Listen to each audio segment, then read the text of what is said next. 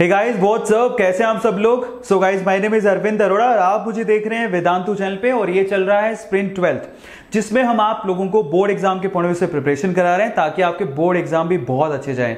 सो so, चलिए guys आज के सेशन को स्टार्ट करते हैं। This is day number eight जिसमें हम लोग कोऑर्डिनेशन कंपाउंड्स को यहाँ पर डील करने वाले हैं। यहाँ पर मैं आप लोगों को एनालिसिस बताऊँगा कि पिछले 10 सालों में इसमें से क्वेश्चन कैसे पूछे गए और इसके अलावा मैं आप लोगों को यहाँ पर कुछ क्वेश्चन के एग्जांपल के साथ आप लोगों को बताऊँगा कि आंसर लिखने कैसे ठीक है?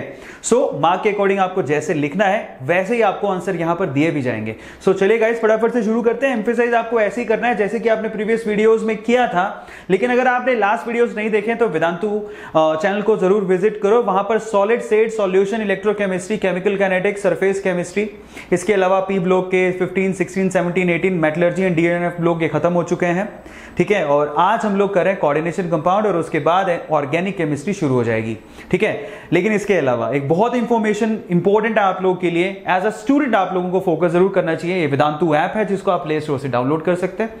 अपने डाउट के लिए स्टडी मटेरियल के लिए क्लासरूम वीडियोज़ के लिए इस ऐप को आप लोग डाउनलोड करें यह आपको बहुत ज़्यादा हेल्प करेगा। सो चलिए गाइस कोऑर्डिनेशन कंपाउंड का हम लोग एनालिसिस कर लेते हैं, जैसे कि आपको यहाँ पर दिखाई दे रहा है। यहाँ पर सबसे ऊँचा जो ब्लॉक है बेसिकली वो ऐसे वन टाइप के क्वेश्चंस का है। इसके अलावा अगर देखें तो यहाँ पर आ, यहाँ पर वेरी शॉर्ट आंसर वाले जो क्वेश्चंस वो भी बहुत पूछे जाते हैं।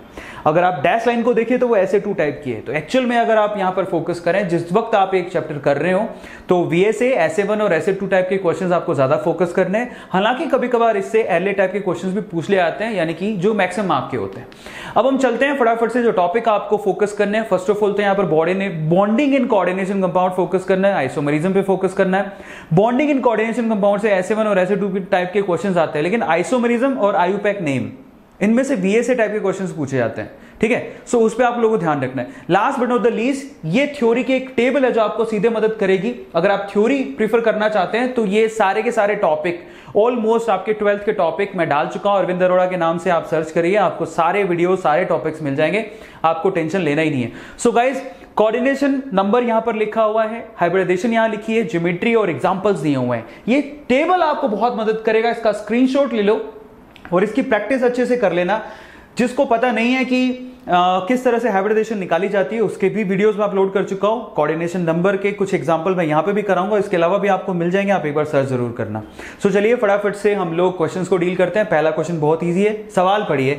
मैंने coordination compound chromium C L three dot six S two is mixed with AgNO three two moles of AgCl are precipitated per mole of the compound right the structural formula of the complex बहुत आसान है। जैसा कि यहाँ पर लिखा हुआ है टू मोल्स ऑफ़ एजीसीएल तो आप सोचो टू मोल्स ऑफ़ एजीसीएल का मतलब दो मोल एजी प्लस और दो mole CL minus AG plus तो एजीएनओ थ्री दे देगा। दो मोल सीएल माइनस ये वो कौन देगा? ऑब्वियसली ये वाला जो कंपाउंड है वो देगा। इसका मतलब यहाँ पर दो क्लोराइड आयन आसानी से आपको मिल सकते हैं। वो कॉम्प्लेक्स कंपाउंड है बाहर है। क्रोमियम का अगर आप देखें तो कोऑर्डिनेशन नंबर छह होता है। बड़ी कॉमन सी चीज़ है, ठीक है? कोऑर्डिनेशन नंबर का मतलब है कि कितने लोन पेयर एक्सेप्ट करता है। तो क्रोमियम छह लोन पेयर एक्सेप्ट करता है। तो ओवरऑल आपको छह से उसको सेटिस्फाई करना है। आंसर कैसे लिखोगे? बहुत आसान है। नीचे यहाँ पर मेंशन किया हुआ है आंसर वैसे देखिए क्रोमियम ने क्या किया है बेसिकली यहाँ पर फोकस करेगा। यहाँ पर सिर्फ़ ये देखिए क्रोमियम ने सिर्फ़ एक क्लोरीन से एक लोन पेयर ले लिया और पाँच एच से एक्वा यहाँ पर मॉलिक्यूल से उसने क्या किया बेसिकली छह, पाँच लोन पेयर ले लिए। टोटल कितना हो गया? पाँच और एक छह। और दो क्लोरीन बाहर है ताकि ये जो दो क्लोरीन है वो प्रेसिपिटेशन में मदद कर सके। एक वाटर का मॉलिक्यूल बच गया जिसको हाइड्रेटेड फॉर्म में बाहर लिख दिया। अगर आप इतना सा भी आंसर लिख के आ जाते हैं तो आपको वन मार्क पूरा मिल जाएगा। बट समझ समझ की बात है, अगर आपने क्वेश्चन समझ लिया तो आंसर कर देंगे। क्वेश्चन नेक्स्ट देखते हैं। What do you mean by denticity of a ligand आपसे सवाल पूछा कि डेंटिसिटी का मतलब क्या होता है? डेंटिसिटी का मतलब बहुत ही सिंपल है कि कोई कंपाउंड एक्चुअल में कितने लोन पे डोनेट कर सकता है। अगर एक तो मोनोडेंटेड दो तो डाइडेंटेड ठीक है, या फिर उसको बाई डेंटेड भी कहते हैं। तो मतलब वो कितने लोन पे डोनेट कर सकता है, कितनी साइट है उसके पास डोनेट करने के लिए, उसको हम लोग क्या बोलते हैं डेंटिसिटी कहते हैं।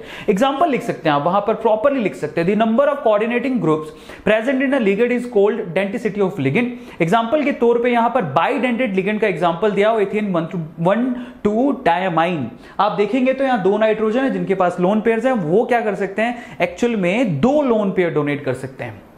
ठीक है? तो ये बाइडेंटेड का एग्ज़ाम्पल है, इस तरह से अगर आप आंसर लिखते हो तो आपको फुल मार्क मिलेंगे। अगला सवाल what is the meaning of ठीक है चिलिट इफ़ेक्ट ये बहुत इंपॉर्टेंट है। चिलेट इफ़ेक्ट एक्चुअल में होता क्या है? एक्चुअली चिलिट इफ़ेक्ट मोनोडेंटेड नहीं दिखाते बाइडेंटेड ही दिखाते हैं। उसको लिखना कैसे है, जरा देखो। वेन अ डाई और polydentate ligand uses its two और more donor atom to bind a single metal अब देखिए कोई एक सेंट्रल मेटल एटम है, मैं यहाँ पर लिख देता हूँ, कोई एक सेंट्रल मेटल एटम है, ठीक है, और उस सेंट्रल मेटल एटम की मदद की जा रही है कोई भी, जैसे ईएन ले लो, दो तरफ़ से मदद की जा रही है, दो लोन पे डोनेट किए जा रहे हैं। तो एक्चुअल में यहाँ पर अच्छी बॉन्डिंग है, देखो, दो तरह से इसको घेरा जा रहा है। तो इस तरह से जो कॉम्प्लेक्स कंपाउंड्स अगर बनते हैं तो वो ज़्यादा स्ट्रॉन्ग बॉन्डिंग बनाते हैं, ज़्यादा स्ट्रॉन्ग बॉन्डिंग बनाते हैं, और वो ज़्यादा स्टेबल भी होते हैं, लिखा भी हुआ है। It is set to be a chelate ligand ठीक है? अगर उसने अपने दोनों डोनेटिंग जो साइट्स हैं यूज़ करके मेटल को घेर लिया है तो इसको हम लोग चिलेट लिगेंड कहते हैं। Chelating ligands from form more stable complexes than monodentate ligand बहुत इंपॉर्टेंट है और इसको चिलेटिंग इफ़ेक्ट कहते हैं। बहुत इंपॉर्टेंट है। इसको इस तरह से आपको आंसर करना था। आई होप आपको समझ में आ गया होगा। नहीं आया तो एक बार फिर से पढ़िए और इसका स्क्रीनशॉट ले लीजिए। अब next question write the IUPAC name of the following बहुत पूछा जाता है। सबसे पहले आपको ध्यान से देखना है कि एक्चुअल में सिर्फ़ और सिर्फ़ इसके अंदर कॉम्प्लेक्स पार्ट है। इसका कोई कैटानिक और रेनानिक पार्ट तो है नहीं। उसमें भी आपको क्या करना है? अल्फ़ाबेट के हिसाब से जैसे एमाइन है और एक क्लोरीन है। तो ए पहले आता है। तो ट्राई एमाइन ठीक है? और फिर उसके बाद ट्राई क्लोरिडो समझ में आता है? और फाइनली क्रोमियम इस तरह से उसको मेंशन करना है। आंसर नाम आपको और साथ में आपको यहाँ पर इनकी क्या मेंशन करनी होती है? आपको ऑक्सीडेशन स्टेट भी क्रोमियम की मेंशन करनी होती है। तो देखो इसका नाम कैसे लिखा गया है। देखिए ट्रायमाइन दिख रहा है सब लोगों को ट्रायमाइन ट्राइक्लोरिडो जैसा कि मैंने आपसे कहा था क्रोमियम अब उसके बाद क्रोमियम का ऑक्सीडेशन स्टेट निकालिए। अमोनिया पे होता है ज़ीरो तीन क्लोराइड आयन है तो माइनस होगा तो ऑब्वियसली इस पे प्लस थ्री होगा। तो यहाँ पर तीन रोमन में आपको लिखना है। क्लियर हो गया? सो so, ये इस तरह से आपको इसका सॉल्यूशन मेंशन करना है। फिर से एक क्वेश्चन है। मैं आयोपैक वाले क्यों पूछ रहा हूँ? क्योंकि आयोपैक के क्वेश्चन बहुत पूछे जाते हैं। Using the IUPAC norms write the systematic name of this again यहाँ पर अगर आप चाहे कैटानिक पार्ट देखो, चाहे एनाइनिक पार्ट देखो, दोनों के दोनों कैसे हैं? दोनों के दोनों कॉम्प्लेक्स पार्ट है। तो इसको भी लिखना आसान है। सबसे पहले कैटानिक पार्ट को लिखेंगे, फिर एनाइनिक तो आप जरा फोकस करो। हेक्सा एमाइन कोबाल्ट ठीक है? और फिर उसके बाद है आपके पास हेक्सा साइनो क्रोम क्रोमियम नहीं लिखेंगे अब अभी अब इसको कैसे मेंशन करेंगे वो देखो, क्योंकि वो एनाइनिक पार्ट है तो एटी लास्ट में लगाया जाता है। तो देखो किस तरह लिखोगे। ये रहा हेक्सा एमाइन कोबाल्ट उसकी उसकी क्या लिखोगे? ऑक्सीडेशन स्टेट उसके बाद हेक्सा साइनो क्रोमेट उसकी ऑक्सीडेशन स्टेट फॉर्चुनेटली दोनों की ऑक्सीडेशन स्टेट थ्री थ्री है, क्योंकि ये ये देखो, आप निकालोगे कैसे? सिक्स सी एन है। बैलेंस करना सीखो। सिक्स सी एन है, जिसमें सिक्स माइनस का होगा। क्लियर होता है? और इस तरह से आप इसको, अब ये बहुत स्पेशल है। इनके ऑक्सीडेशन स्टेट निकालने बड़े गजब के हैं। और कोबाल्ट पे भी फोकस करो। दोनों को इस तरह से मैनेज करो कि ओवरऑल यहाँ पर जो ऑक्सीडेशन स्टेट है, वो एक दूसरे को बैलेंस कर सके। इस तरह से आपको इसको मैनेज करना है और मैं आप सबसे कहता हूँ, हालाँकि बताने को बहुत इजी है, लेकिन एट द सेम टाइम आप सब लोग यहाँ पर थ्री थ्री कैसे है उसको कैलकुलेट करो खुद से, क्योंकि आपको बेनिफिट होगा। और मैं आपको एक चीज़ तो क्लियर कर चुका हूँ, क्योंकि यहाँ पर छह साइनो है तो माइनस का सिक्स है। क्रोमियम जब भी कंपाउंड बनाता है तो प्लस थ्री ऑक्सीडेशन स्टेट दिखाता है। हम पहले ही देख के आ चुके हैं एक एग्ज़ाम्पल में। उसके हिसाब से आप उधर वाले का भी निकाल सकते हो। इनमें ऑक्सीडेशन स्टेट निकालने के लिए थोड़ा आपको क्या चाहिए? थोड़ा आपको, थोड़ा जो आयंस होते हैं, उनकी मेटल आयंस उनकी नॉलेज होनी चाहिए कि किस तरह के कंपाउंड वो फॉर्म करते हैं। चलिए अब आगे चलते हैं फटाफट से। इनका ये एग्जांपल था जिसको मैं आपको बता चुका हूँ। We have one more question what type of isomerism is shown by this complex यहाँ पर देखिए, खास बात क्या है? यहाँ पर आपने एक ऐसा, यहाँ पर लिगेंड लिया है जो कि एम्बिडेंट है। एम्बिडेंट मतलब ये ये ऐसा है जो कि यहाँ से सल्फ़र से भी डोनेट कर सकता है और यहाँ से कार्बन से भी डोनेट कर सकते हैं। एम्बीडेंट है मतलब ये। इसके बाद दो दो साइट हैं। तो अगर वो बदल दे, ठीक है, अपनी साइट तो यहाँ पर किस तरह का आइसोमरिज्म शो करेगा, जरा चेक करो। The complex this show the linkage क्योंकि लिंक ही चेंज हो गया। या तो आप एस से करोगे। क्लियर हो गया? लिंक चेंज कर सकते हो, या फिर आप कार्बन से कर सकते हो। क्योंकि ये एम्बिडेंट है। तो यहाँ पर लिंकेज आइसोमरिज्म ये शो कर रहा है। अब हम चलते हैं आगे। We have one more question what type of isomerism is exhibited by the following यहाँ पर क्या हो सकता है? तो यहाँ पर सीन कुछ ऐसा कि यहाँ पर देखो कोबाल्ट का छह कोऑर्डिनेशन नंबर दिख रहा है, क्योंकि पाँच ये और एक ही है। आप इसको अंदर ले जाके उसको भी बाहर ला सकते हो तो इसको बोलते हैं आयनाइजेशन आइसोमरिज्म अब देखिए, हमने यही किया। SO4 को और Cl को आपस में इंटरचेंज कर दो तो इसको हम लोग आयनाइजेशन आइसोमरिज्म बोलते हैं। ये भी एट द सेम टाइम बहुत ईजी है। Now we have one more question why a solution of NiH2O6 plus 2 is green, while a solution of NiCN4 minus 2 is colorless अब इसका आंसर बड़ा आसान है।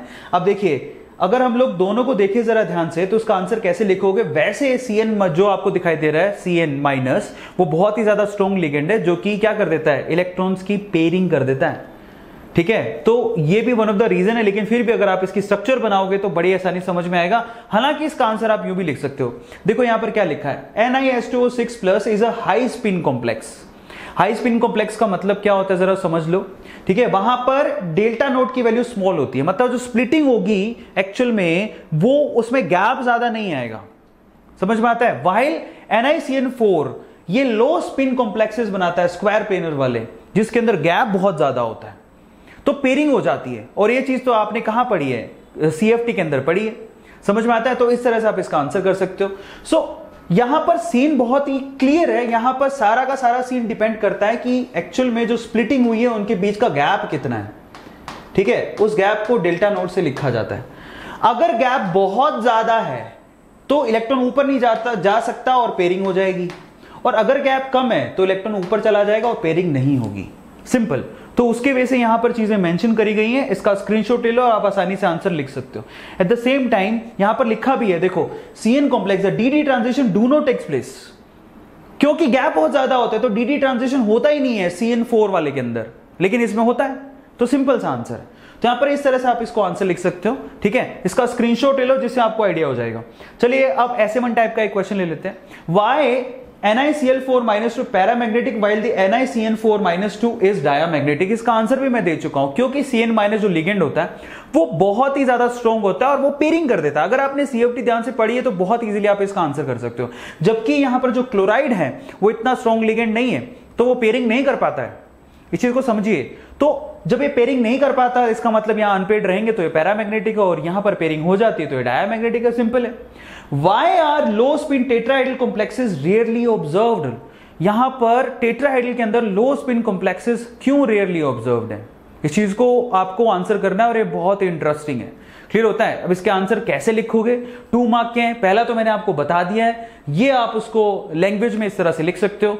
सेकंड स्पेशल है। इन टेट्राइडल कॉम्प्लेक्स कंपाउंड्स ठीक है entity formation the d orbital splitting is smaller मज़े की बात है कि टेट्राइडल के अंदर क्या होता है बेसिकली डी ऑर्बिटल की जो स्प्लिटिंग है वो बहुत ही ज़्यादा स्मॉल होती है।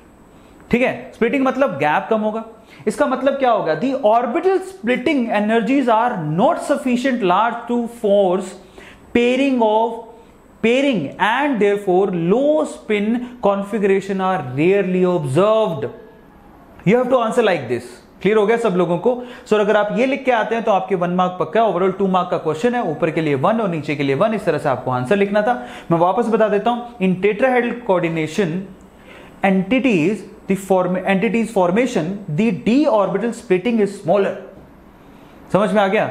Consecutively the orbital splitting energies are not sufficiently large guys ये ध्यान रखना आपको क्लियर हो गया? तो इस तरह से आपको आंसर को मैं यहाँ पर मेंशन करना है।